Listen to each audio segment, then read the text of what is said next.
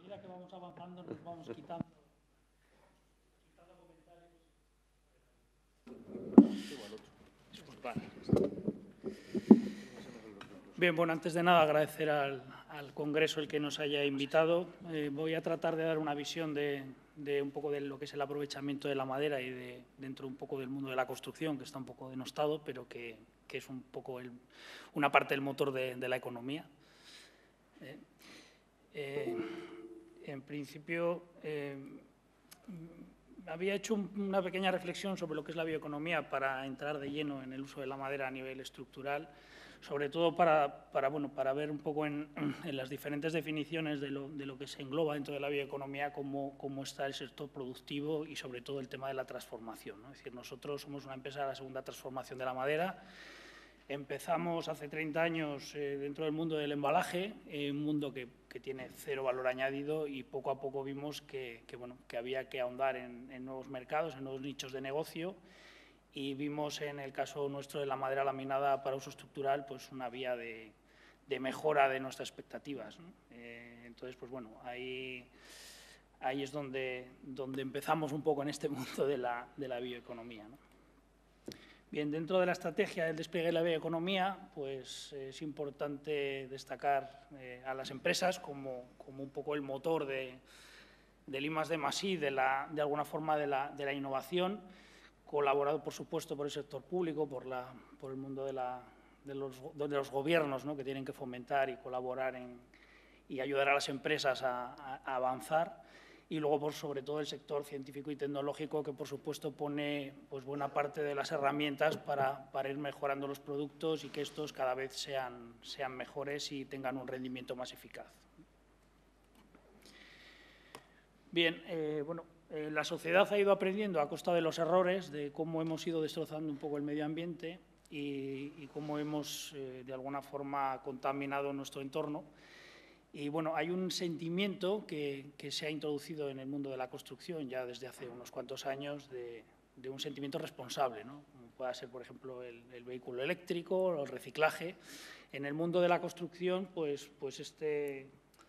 esta nueva onda pues está, está emergiendo y, de alguna forma pues está, están digamos, poniéndose en boga todo el tema de, edificios inteligentes y, de edificios sostenibles. Eh, bien, para, para, de alguna forma mezclar lo que podemos llamar bioeconomía con la bioconstrucción, pues, pues estamos, como decía antes, un poco todos influenciados por, por los conceptos de arquitectura bioclimática, es decir, el tener en cuenta el, dónde construyo y de qué recursos tengo próximos para, esa construcción, de la arquitectura, que está totalmente unida últimamente a la sostenibilidad, hasta llegar a, por ejemplo, el tema tan en boga de las, de las casas pasivas, del consumo nulo de energía, que, bueno, que quizás es un poco hoy en día la, el, digamos, el camino de, la construcción o, de, un poco de la, de la nueva activación de, la construcción. ¿eh? Por ejemplo, en comunidades autónomas como, como Cataluña, País Vasco, Navarra, es donde, donde este tema, el tema de la vivienda pasiva está emergiendo y la madera pues tiene un, es un claro, un claro producto para, para, este tipo de construcción. Si entramos a valorar la madera, como decía, dentro del mundo de la construcción, pues tengo ahí una reflexión y es que la madera es el único recurso natural que el hombre puede ir renovando y que con un cuidado de los bosques puede producir de forma indefinida. Es decir, es un, recurso natural que, que, en lugar de extinguirse o de ir desgastando, le podemos, eh, a base de cuidarle, conseguir renovarle, conseguir mejorarle y, que cada vez haya más, con lo cual el uso de la madera pues, pues tiene que ser eh, cada vez mayor y al mismo tiempo pues, la reforestación y, la primera transformación de la madera pues tiene que, ahondar en, en que haya producto para ello. Eh, si nos fijamos un poco en algunas ideas así rápidas de lo que conlleva el término bioconstrucción, pues vemos cómo la madera pues está bastante relacionado con todos ellos. Bien, eh, a nivel de lo que es la materia como producto, que bueno, ya hemos hablado en casi todas las ponencias, pues bueno, a nivel de, material externo, pues eh, reciclaje, biodegradable, un comportamiento acústico y térmico fabuloso, regulador de la humedad, eh, una buena relación entre la resistencia mecánica y el peso, que luego comentaremos,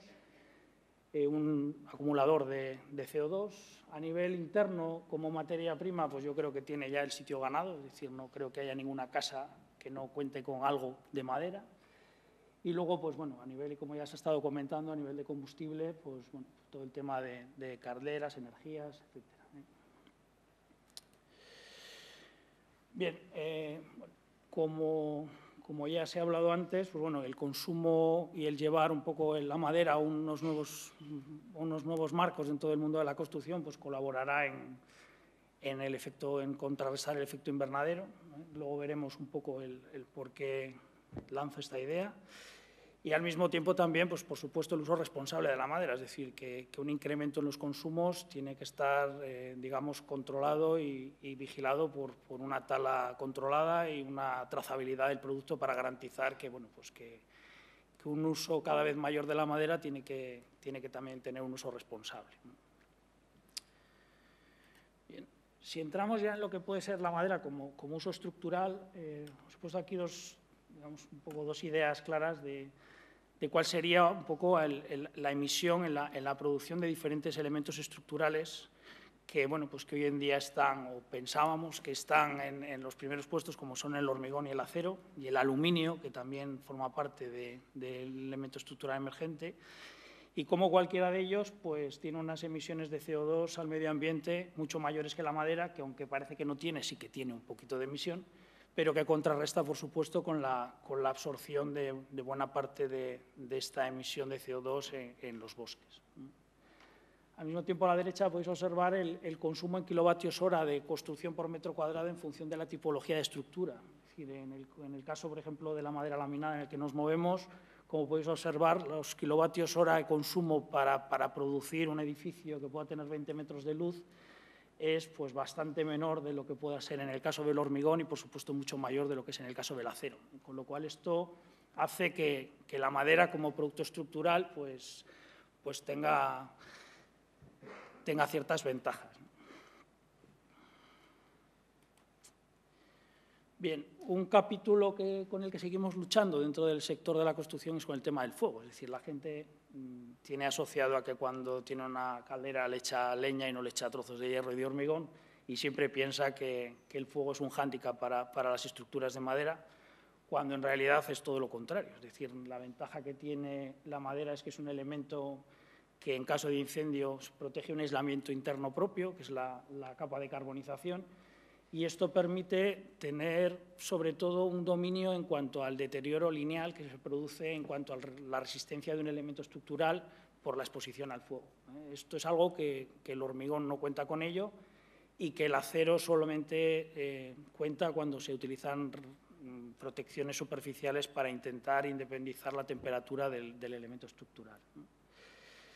Nosotros, al final, eh, en el cálculo de estructuras para, los edificios que hacemos, lo que hacemos es Mm, suponer una situación de incendio en función del uso del edificio y determinar la sección de madera necesaria para conseguir que la estructura no colapse durante ese periodo de tiempo. Podéis ver, aquí tenéis un gráfico en el que se relaciona la, temperatura y el tiempo de, un incendio y se ve cómo pues bueno, materiales como el aluminio o el acero eh, pierden su capacidad portante eh, de forma rápida, mientras que los elementos de madera van ganando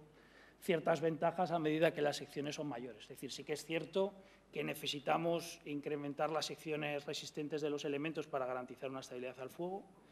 pero bueno, cualquier estructura que se calcula bajo el código técnico y bajo el estado límite de servicio y estado límite último eh, tiene una estabilidad al fuego de 30 minutos garantizada. Es decir, cualquier estructura metálica que, quisiera tener esa, esa, capacidad portante frente al fuego debería de estar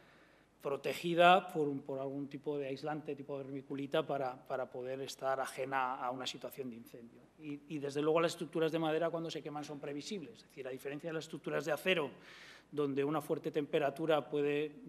mm, dar por perdida la capacidad portante de un perfil, pues en el caso de la madera esa degradación es gradual y bueno, pues, pues muy predecible.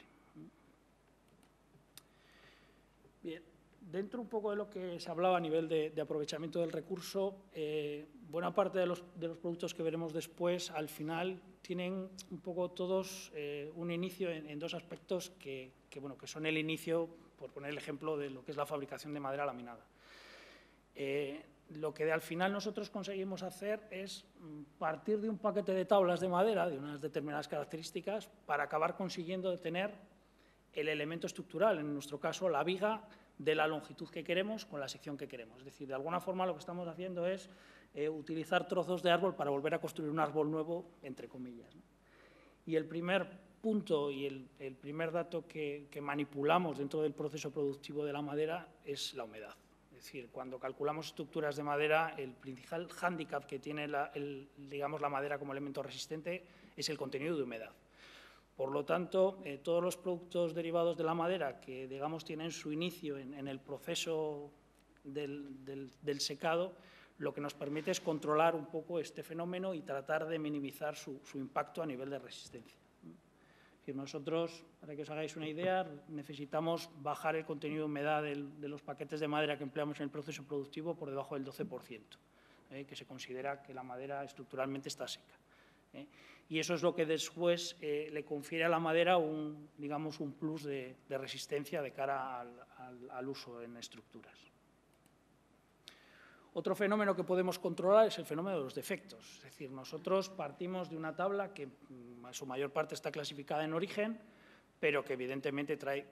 defectos, eh, nudos, gemas, abolladuras, es decir, fenómenos que de alguna forma en el caso de aparecer en una viga maciza de una determinada longitud y sección, pues, pues merma, merma totalmente su capacidad resistente. En nosotros lo que podemos hacer a través de nuestro proceso productivo es retirar todos aquellos defectos y conseguir caracterizar la madera como un elemento estructural con unos parámetros de cálculo igual que los que tiene el acero o el hormigón.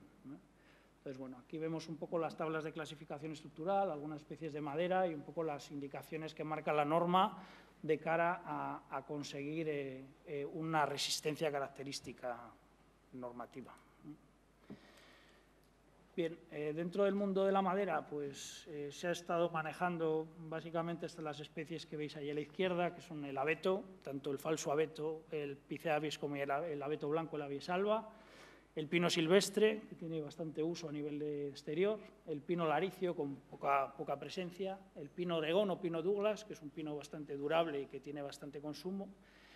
Últimamente está tratándose de imponer o de, utilizar en el mundo de la estructura el pino insignis, el pino radiata del País Vasco, como para darle un valor añadido dentro del mundo de la construcción. Hay varias empresas que están peleando por tratar de ponerle al mismo nivel que estos otros en Galicia el Golbulus blanco, que efectivamente su uso dentro del mundo de la estructura está luchando por abrirse un hueco, sí que es cierto que con un coste inicialmente elevado, pero bueno, yo cuando empecé hace 17 años en esto, la madera laminada ya tenía un coste que era impensable cuando peleábamos contra el macizo y, hoy en día, pues la verdad es que conseguir una buena madera es más cara que conseguir una madera laminada, con lo cual entiendo que el Globulus acabará consiguiendo abrir un hueco. La verdad es que como madera es una madera espectacular, ¿eh? es, un, producto caro, pero, pero de nivel. Bien, nosotros al final lo que hacemos es caracterizar la capacidad resistente de tablas, que son fáciles de ensayar y de romper para hacer, digamos, un, para obtener unos parámetros de cálculo, y luego lo que hacemos a través del proceso productivo es conseguir eh, mejorar sus propiedades. Sí que es cierto que no se mejoran en exceso, es decir, los parámetros de cálculo de una madera C24 frente a una madera, digamos que sería la, digamos, la que podemos construir, que sería la GL24, los, los, parámetros de cálculo no son muchísimo mejores, pero como os decía antes, lo que sí que hemos conseguido es que la madera esté seca, cosa que en el caso del macizo es bastante complicado, y además que esté ausente de defectos, es decir, que, de alguna forma es un, sobreaprovechamiento de la madera. Sí que es cierto que para fabricar un, metro cúbico de madera laminada tenemos unas pérdidas de entre un 30 a un 35% de madera maciza y que todo nuestro empeño, por supuesto, como podrán entender, es intentar que, ese tanto por ciento baje todo lo posible para, bueno, pues para conseguir un aprovechamiento mucho más óptimo. Bien, a nivel de resistencia como material y en comparativa con, una estructura de acero, eh, pues bueno, vemos ahí como lo que comentábamos antes, eh, es decir, hay parámetros de, cálculo que, en el caso de la madera, pues por, tener un comportamiento anisotrópico, es decir, la madera tiene una pequeña desventaja frente a otros materiales, y es que eh, la aplicación de la carga en función de su, capacidad portante pues es variable. Es decir, una viga de madera soporta mucho mejor las compresiones, es decir, simulando un pilar de hormigón, que lo que, lo que soporta en flexión, ¿eh? o, lo que soporta con una carga que esté de alguna forma aplicada en, la dirección perpendicular del elemento resistente a la madera, que son sus fibras. Entonces, bueno, sí que es cierto que, que tiene algunos hándicaps, pero también tiene muchas ventajas. En este gráfico podemos ver cómo el acero es un material isotrópico, es decir, no tiene ninguna consideración eh, a la hora de colocarle a nivel de, soportar cargas, frente a la madera, que sí que lo tiene, o al hormigón, que por supuesto tiene mucho, pero como se puede observar, la madera, pues bueno, no gana en todas, pero gana en muchas. Es decir, que, como material estructural que la gente todavía le cuesta entender que, que está en condiciones de pelear con los grandes, pues bueno, se puede observar cómo eh, hay diferentes variedades dentro de lo que es la transformación de la madera que consigue competir y de alguna forma, pues bueno, eh, ocupar mejores posiciones. Bien, dentro del proceso productivo, eh, bueno, la tecnología nos ha ayudado a generar lo que nosotros denominamos finger joint, que es la unión dentada, que al final es una especie de soldadura, o lo más parecido a una soldadura en acero, y que luego bueno, pues forma parte de varios de los productos de, la madera como uso estructural y lo que nos permite de alguna forma es, pues bueno, a, partir de esos trozos de tabla que nosotros procuramos que sean los más largos posibles, de esos trozos saneados que les hemos quitado todas las imperfecciones y de esos trozos secos, lo que tratamos de conseguir pues, pues es lo que os comentaba antes, es decir, el árbol más largo y más gordo que, podamos necesitar para resolver nuestras estructuras a través de un proceso como es el encolado, lo que conseguimos es que esas láminas que, conseguimos unir a través de las uniones dentadas y que tienen la longitud de los elementos estructurales que, necesitamos, se produce un proceso de encolado con una cola y un, endurecedor y luego lo que hacemos es, a, nivel de prensas hidráulicas, darle la presión suficiente para que durante la reacción del encolado pues, pues acabemos teniendo una viga con, una capacidad portante, con una longitud y una sección deseada. ¿Eh? Producimos, o en el mercado se utilizan vigas de madera laminada de hasta 40 metros de longitud. hacer algo de una pieza más largo sería muy difícil de transportar y bueno, eh, hemos manejado y el mercado maneja cantos de vigas de dos metros y medio, de hasta tres metros de sección para salvar luces, de, ya digo, de hasta 40 metros de luz, en, una sola pieza o en piezas combinadas hasta, hasta casi 100. Bien, como os decía antes, nosotros tenemos unas pérdidas de entre un 30 y un 35% en, en la materia prima que empleamos para, para laminar pero bueno, también usamos nuestro propio residuo porque bueno, el proceso productivo de la fabricación de madera y del fraguado de las colas eh, requiere de, una temperatura que en invierno no tenemos y que en verano a veces no alcanzamos y de una humedad controlada y lo que hacemos es reutilizar nuestro propio subproducto en, en calentar nuestras líneas de producción. Y cuando hay excedentes, que no siempre, pero, pero a veces sucede, eh, pues bueno, eh, nos aprovechamos de nuestro residuo. Bien, a nivel de, digamos, un poco del proceso, pues evidentemente cuenta con un, con un control permanente de la calidad para garantizar ese comportamiento resistente. Bien, al final lo que conseguimos es pues bueno, eh, que las limitaciones que tiene la madera maciza, que como producto sigue teniendo su valor añadido, por supuesto, pues se queden de alguna forma, o sea, se puedan avanzar más de lo que estaba haciéndose hasta ahora. ¿no? En trabajar pues, bueno, con estructuras de, grandes luces. Esto es una piscina en, Murcia que tiene 50 metros de vano. En estructuras que, bueno, pues que simulan cerchas españolas de las que se venían usando en madera maciza, pero con luces bastante más grandes, y de cómo pues, bueno, la madera dentro de los edificios pues, no solo es un elemento resistente, sino que además es un elemento bastante estético. Esto, por ejemplo, es otro ejemplo. Esto son vigas de 37 metros de sección variable. Esta es una obra en Canarias, para salvar una luz dentro de un centro comercial. Piezas con unos radios de curvatura pues que, bueno, pues que le dan a la madera un, plus de, uso. Esta es otra estructura aquí en Cantabria para, el, ejército en, en Ibio, con, con cerchas con luces de 30 metros.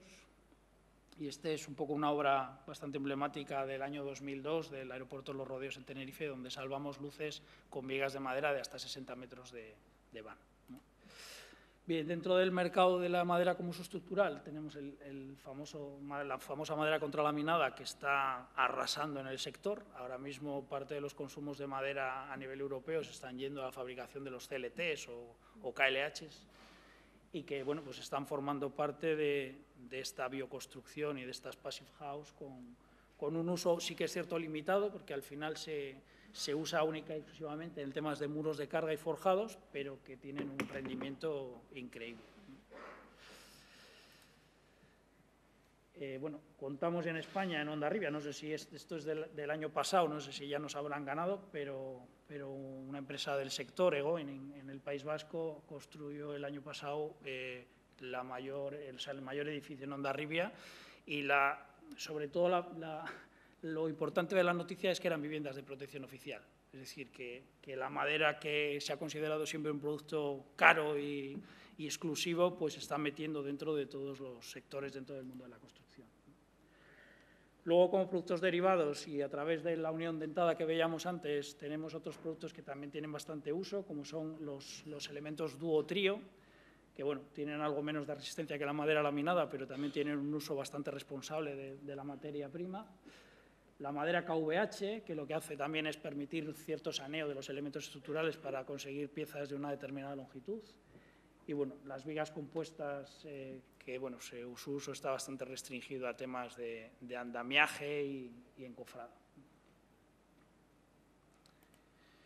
Bien, otro producto con bastante relevancia, aunque quizás no es muy conocido, es el kerto, que es madera microlaminada. Es una especie de contrachapado a lo bestia que que aunque parece que visto tiene pues, unos usos limitados, pues, como se puede ver a la derecha, esto es una obra que está en Sevilla, que yo cuando empecé en esto vi los planos por primera vez y pensé que jamás la vería construida, y la verdad es que bueno, es, es, una expresión bastante clara de a dónde se puede llegar con el Kerto, porque la verdad es que a nivel europeo es, se usa bastante, en España hay, hay un consumo bastante bajo, pero esta obra rompe un poco con, con, las cualidades y, le deja en bastante buen lugar. Luego, por supuesto, todo el tema de tableros y derivados dentro del tema de, muros ligeros y de la construcción bioclimática, pues, pues están en, uso permanente y sobre todo los contrachapados y los OSBs que, que van, ganando, van ganando bastante territorio, tienen una muy buena resistencia. Nosotros a nivel de estructura y encerramiento se emplea muchísimo el OSB pues, empezó entre nuestras vidas eh, como contenedores de, botellas y de regalos de Navidad y la gente no sabe que como, elemento estructural tiene un comportamiento frente a la humedad impresionante. Los OSB 3, SB4 y SB5 con, colas hidrófugas tienen un comportamiento en, construcción muy bueno y su coste es bastante competitivo. Y luego otro fenómeno que, nos ayuda o colabora con el tema de la madera y sobre todo un poco para darle para darle una durabilidad en el tiempo es el tema de los tratamientos, que evidentemente han ido mejorando a lo cabo de los años, permitiéndonos pues bueno, tener un uso de la madera en, cualquier clase de riesgo. ¿no? La norma establece unos criterios en, cuanto al uso de la viga como elemento estructural y de alguna forma lo que hace es imponer una serie de criterios a la hora de, poner una viga en un determinado espacio. Es decir, no es lo mismo montar una, una viga en intemperie que hacerlo en una vivienda y por lo tanto las exigencias de ese tipo de tratamiento pues, son variables. Es decir, la industria y el sector tecnológico lo que ha ido haciendo es mejorar estos, estos materiales para conseguir colaborar y que, y que la madera se pueda, se pueda llevar a cualquier, terreno. Por ejemplo, el tema de pasarelas peatonales, donde bueno, pues se salvan luces de 50, 60 metros y bueno, pues al final permiten en muchos, en muchos caminos y en muchas ciudades pues, pues generar o resolver problemas de movilidad, pero con elementos que estéticamente pues, pues son bastante, bastante vistosos. Esto es un ejemplo de, madera tratada para intemperie que está en Vitoria, que también hicimos en el año 2007, donde toda la madera está tratada por, por autoclave por el sistema Bethel. Y bueno, de alguna forma pues, pues es, digamos, un poco el uso a nivel de intemperie más, significativo que tenemos. ¿eh?